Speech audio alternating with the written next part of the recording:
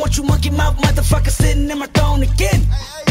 Waarom neem je een foto van je boterham? Omdat uh, al uh, sinds drie jaar een traditie is van ons. Ik kom uit Leuven. En uh, ja, nu vergelijken op de vastmarkt, dat hoort erbij. Dat, dat maakt de Gentse feesten af. Hè.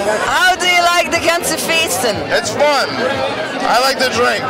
I like to eat weird pork things and bread. Now I run the game, got the whole world talking King Kunta. Everybody wanna cut the legs off 'em. When you got the yams. Waarom komen jullie naar de Vlasmarkt? Voor de aangename huur en de sfeer. Riekt het daar, riekt het de sfeer? Ik krieg de sfeer. You can smell it when I'm walking down the street. Jij. Rapping.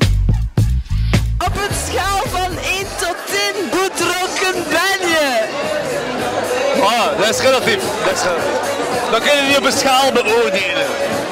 Maar zij, 10 op 10.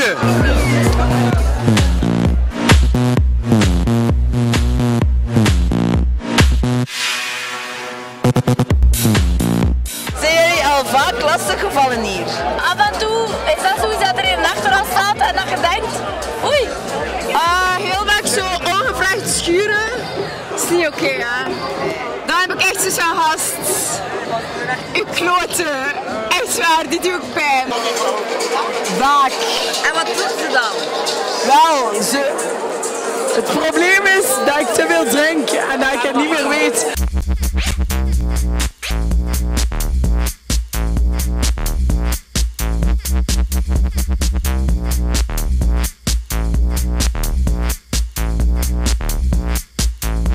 Het sukt massas. Ze zitten hier hun heel aan de speed en heel aan de coke. En hun, je kunt hun zien, jongen. Van het publiek zit hun aan dress, jongen. Het sukt.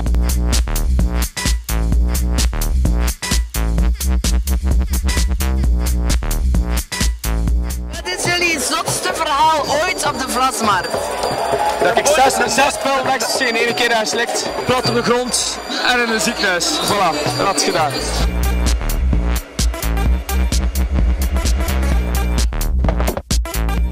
Zo tof aan de Gentse feesten? dat er weinig controle is en dat je zo de hele nacht door kan gaan. Het is nu licht en we zijn nog steeds aan het feesten. Ik kom van gisteren van Portugal. Maar eh, ik dacht van, het gaat moeilijk zijn even goede dingen te evenaren of daar. Maar kijk, het is toch al achter één dag al direct in orde.